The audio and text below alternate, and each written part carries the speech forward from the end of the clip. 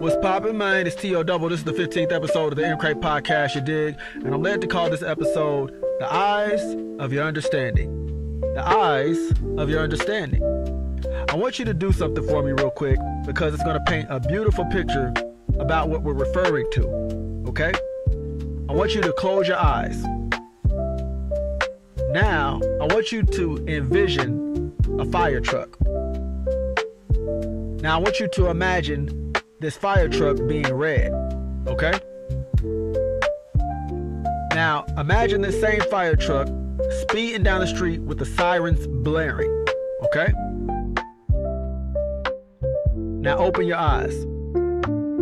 Now, if you follow my instructions, I guarantee you that you literally saw a red fire truck speeding down the street with the sirens blaring.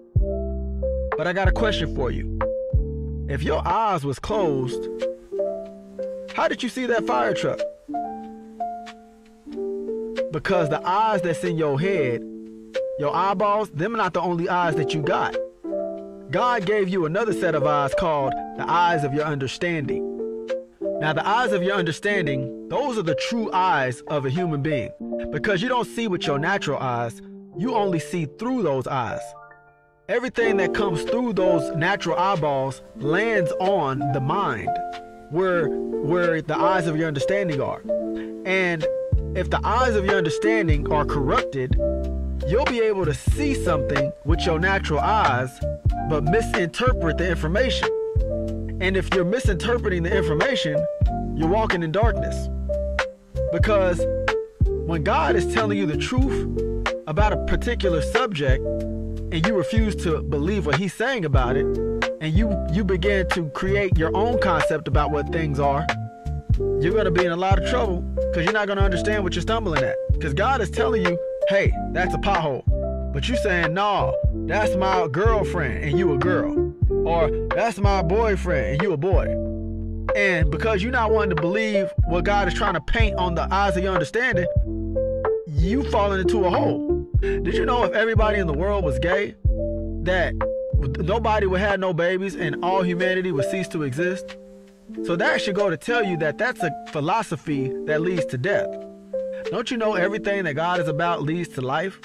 Now, I know I, it might seem like I'm coming down on that particular topic, but I really am led to, to speak on that because people don't understand that the eyes of their understanding have been darkened.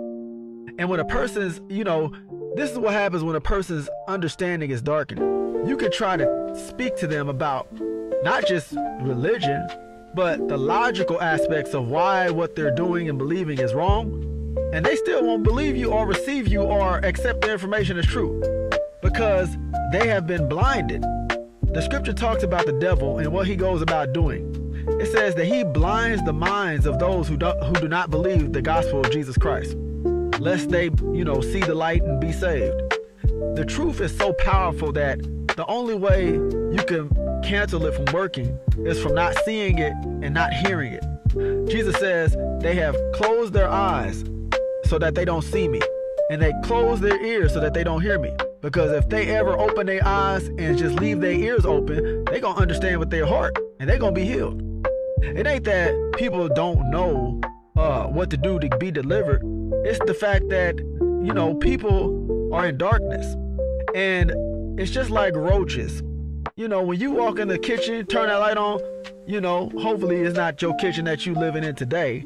But I'm sure some of y'all can relate. I don't like using this example, but I just got to paint the picture.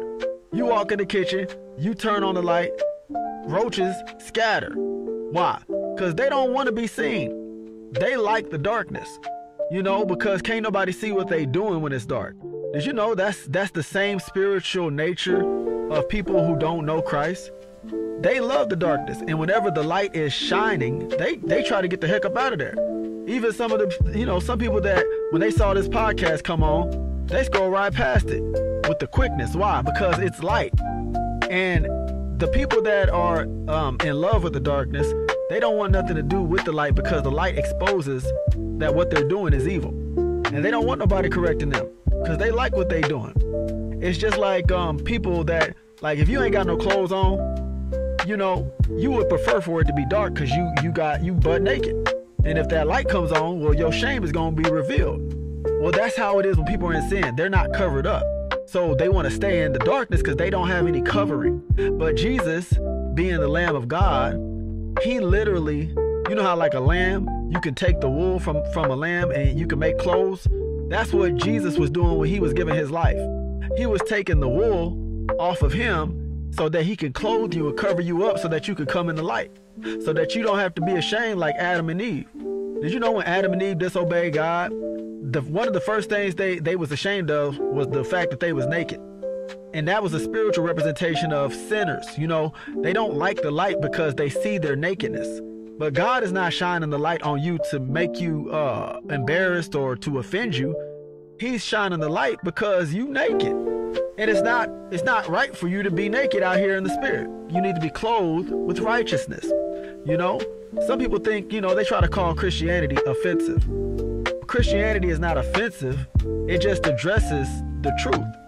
It's the same way if you go out in public and you got a booger up your nose and you you having a conversation with me and I say, "Hey, hey man, you got you got boogers in your nose."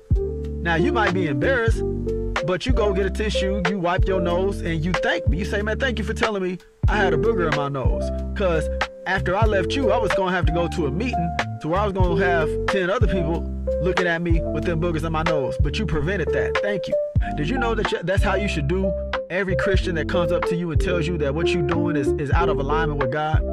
Because you're not just living in the natural. You you have an existence in the spirit as well as the natural.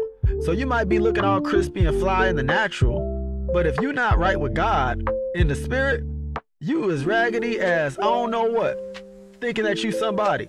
Jesus even spoke about this. He said it was this group of people uh, in the book of Revelations. He was speaking to them. He said, Y'all think y'all balling because y'all rich.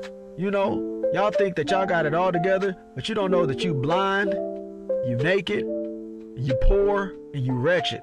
Now, he wasn't referring to the natural condition of them because they were, you know, when you would see these people, they were, you know, probably have fancy clothes, fancy houses, live good lives. But he was saying, I could see you in the spirit.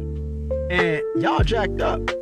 And you know why they was jacked up? Because they weren't um, believing God. They weren't living according to the truth. And when you don't live according to God's truth, it's because the eyes of your understanding have been blinded. You, when you don't believe what God is saying, it's it's because you're blind.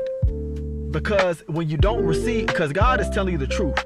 It's like somebody who's trying to tell you the truth you don't see what they're saying because you you can't see what they see but they can see it and they telling you what they see but if you don't believe what they try to tell you is true that makes you blind it like for example if if god is in a watchtower and he can see over the city wall but you're on the ground and he says oh i see it's you know uh, don't go through this particular door when you leave the city because i can see over this uh, uh, uh, wall that leads to a hole in the ground. Well, if you say, uh-uh, no it don't, and you walk through that door, did you know you you just as blind as a bat? You probably worse than a bat. Because he's trying to tell you what he sees in the spirit, but you not believing it, and it's causing you to walk in a the the same manner as a blind man. You see what I'm saying? That's why he says when you when you don't believe God, you are blinded. Because he's telling you what's true. But the devil's he thinks it's his job, the devil, to lie to you. And when he lies to you, the reason he lies to you is because he can only govern you according to the amount of darkness that's in you. So the more you disbelieve God who's trying to tell you the truth, and the more you believe the devil, the more under his control you are. Because remember, God is not the only one with a kingdom. There is a kingdom of darkness. And the devil is the is the prince of darkness. The Bible calls him the, the prince of darkness, the God of this world. And he can only govern you according to the amount of darkness that's in your life.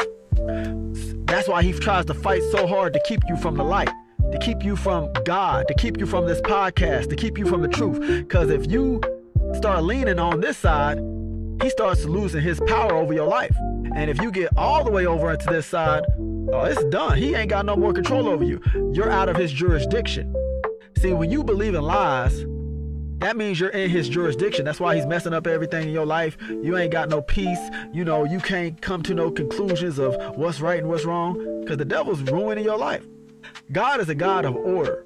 And the devil, since he's trying to stop what God is doing, he's he's the reason why there's chaos. Why is it when you go into some of these restaurants, you don't even know what bathroom to go in no more because they done got it uh uh neutral gender or whatever. That's of darkness. You know, that's that's coming from people who have the the eyes of their understanding darkened.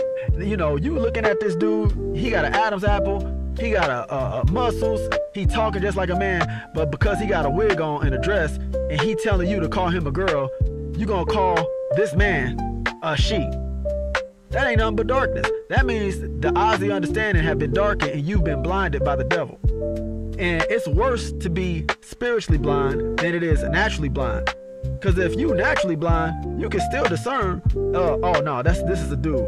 But if you if you got your natural eyes working, but you can still look at a person who's a man and call him a girl, that's worse than being naturally blind. Because the soul itself is corrupted. And it's been corrupted with deception. See, the Bible, out of all the things it calls the devil, it really emphasizes the fact that he's a deceiver and a liar. The devil, it literally says that he's the father of lies. Lying, his his whole kingdom is built upon lies. And if the truth ever comes into his kingdom, his whole kingdom would just shatter because it's built upon lies.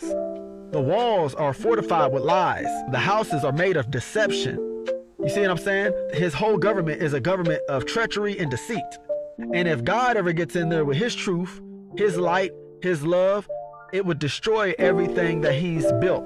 So that's why he tries to keep you away from God. Because God is going to let you know what's proper. He's going to let you know what's right. He's going to let you know what's moral. He's going to let you know what's immoral. He's going to let you know where the hole is in the ground that you need to avoid. The devil ain't going to tell you none of that. He gonna say it's okay for another girl to be with a girl. It's okay if you you a man, but you want to get your penis cut off and call yourself a girl. That's called chaos.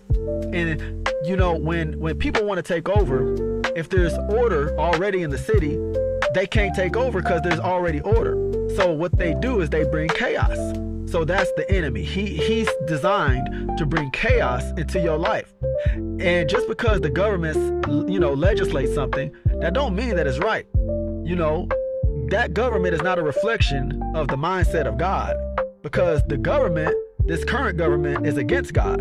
And a lot of this stuff that they legislating, you know, same-sex marriage, uh, transgender, and all this stuff, this stuff flies right in the face of the Bible. And the true aim of this stuff is to get rid of the Bible and to get rid of the church.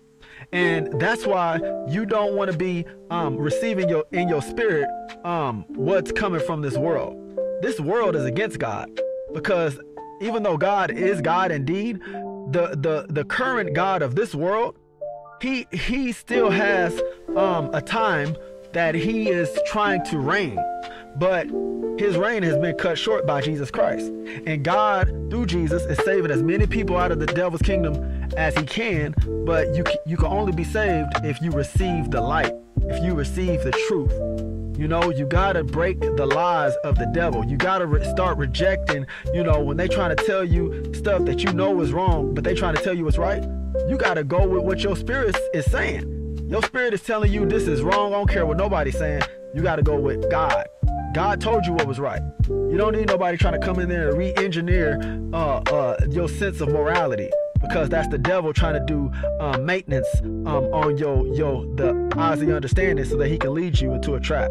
You feel me? There's much more to be said about this, man, but I'm approaching my 15 minute mark, man. So I'm TO Double, M-Cray Podcast. Until next time, man. Peace out.